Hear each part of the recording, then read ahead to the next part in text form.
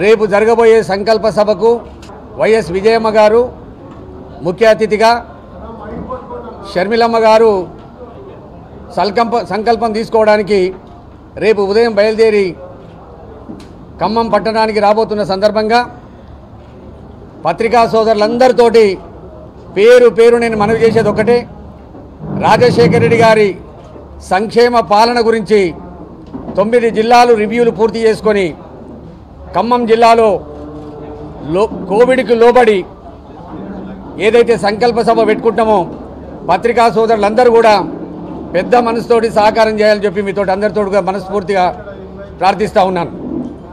రేపు ఉదయం ఎనిమిది గంటలకు షర్మిలమ్మ గారు వైఎస్ విజయమ్మ గారు లోటస్ పాండ్ నుంచి బయలుదేరి మధ్యాహ్న ఆరు ప్రాంతాలలో స్వాగతాలు పలికిన తర్వాత ఖమ్మం పట్టణానికి సుమారుగా ఒకటిన్నర రెండు గంటలకు చేరుకుంటారు.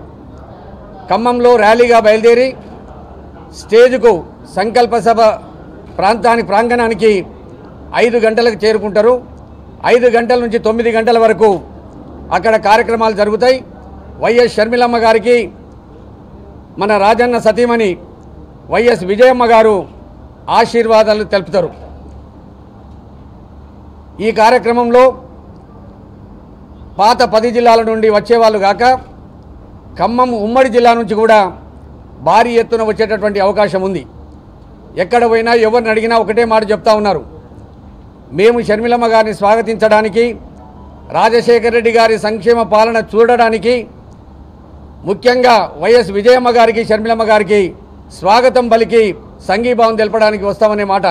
ఏ లంబాడి తండాకు పోయినా ఏ గ్రామానికి పోయినా ఏ గూడుకు పోయినా ఏ గూడు గుడానికి పోయినా ఒకటే మాట చెప్తా ఉన్నారు.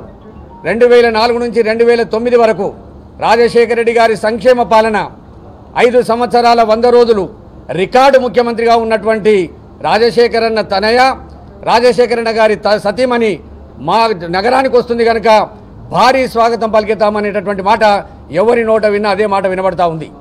దయచేసి నేను వచ్చే వాళ్ళందరికీ కూడా చెప్తా ఉన్నాను. శానిటైజర్లు ఇక్కడ మేము ఏర్పాటు చేస్తున్నాం. మాస్కులు ఏర్పాటు చేస్తూ ఉన్నాం. కోవిడ్కు లోబడి మనం ఈ సభను సఫలీకృతం చేసుకోవాల్సినటువంటి అవసరం ఉన్నది. అందరూ కూడా వాళ్ళందరికీ కూడా ఒకటే మీ అందరికీ ఇవాళ రేపు పేపర్లో వస్తుంది ఇవాళ మేము సోషల్ మీడియాలో కూడా పెడుతున్నాము ఎవరెవరు ఎక్కడ పార్కింగ్ చేయాలి పార్కింగ్ చేసిన తర్వాత ఎక్కడి వరకు రావాలి కొన్ని వెహికల్స్ పార్కింగ్ దూరంగా ఉంటే ఇక్కడ వాళ్ళని డ్రాప్ చేసి మళ్ళీ పార్కింగ్ ప్లేస్ కోవాల్సినటువంటి అవసరం ఉంటుంది. కొన్ని వీఐపీ పాసులు కూడా ఉన్నాయి వీఐపీలకు అక్కడ దగ్గరలోనే అక్కడ వాళ్ళకు పార్కింగ్ ప్లేస్ ఉంటుంది. అందుకు దయచేసి అందరూ కూడా పన్నెండున్నర ఒంటి గంట లోపల ఎవరైతే వస్తారో వాళ్ళకు మంచిగా ఉంటుంది కనుక తొందరగా వచ్చి సభను దిగ్విజయం చేయాలని చెప్పి మనం చేస్తూ ఉన్నాను. థ్యాంక్ యూ బాజాబ్తా జెండా ఎజెండా వచ్చిన రోజు రాజశేఖర రెడ్డి గారి కుటుంబం ఎట్లుంటుందంటే ఒక ఎగ్జాంపుల్ చెప్తాను మీకు నేను. వాళ్ళ మనస్త మనస్తత్వం ఎట్లుంటుంది అనేది. రాజశేఖర రెడ్డి గారు చేవెళ్ళ నుంచి ఇచ్చాపురానికి పాదయాత్ర చేసేటప్పుడు ఎర్ర టెండలో పదహారు నెలలు పాదయాత్ర పదహారు వందల కిలోమీటర్లు పాదయాత్ర చేసేటప్పుడు తెలంగాణ మీద ఆరు వందల కిలోమీటర్లు పాదయాత్ర చేసాడు ఎక్కడ చూసినా ఎడారులు నీళ్ళు లేవు. ఏంటన్నా పచ్చగా కనబడితే వాళ్ళని అడిగిండు. ఎందుకు పచ్చగా కనబడుతుందంటే వెయ్యి వెయ్యి మీటర్లు ఆరు వందల మీటర్లు బోర్లు వేసుకుర్రు.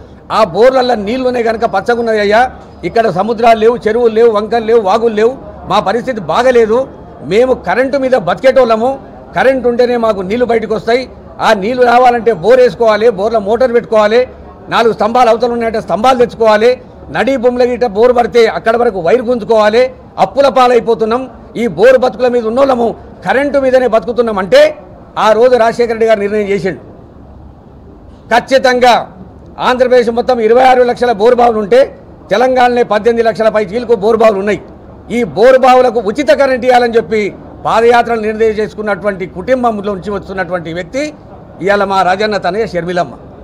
ఖచ్చితంగా ఈ ఇంచు ఆమె తెలంగాణలో పాదయాత్ర చేసింది ఓదార్పు యాత్ర చేసింది పరమార్శ యాత్ర చేసింది కనుక తెలంగాణలో ఉన్న ఈ ఇంచు గురించి ఆలోచన చేసి తెలంగాణకు అన్యాయం జరగకుండా పోరాడేటటువంటి వ్యక్తి వైఎస్ షర్మిలమ్మ గారు.